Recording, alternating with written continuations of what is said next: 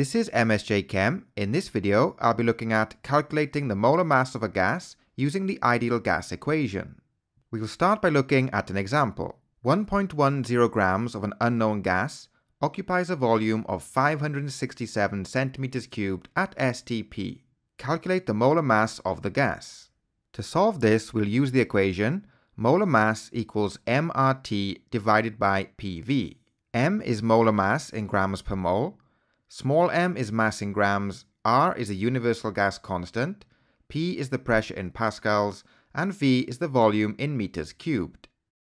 So here we have the same equation with the values substituted in. The mass of the gas is 1.10 grams, the universal gas constant is 8.31 joules per Kelvin mole, the temperature in Kelvin at STP is 273. The pressure of a gas at STP is 1.00 times 10 to the 5 pascals.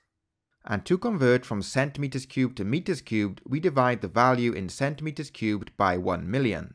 This gives us a molar mass of 44.0 grams per mole.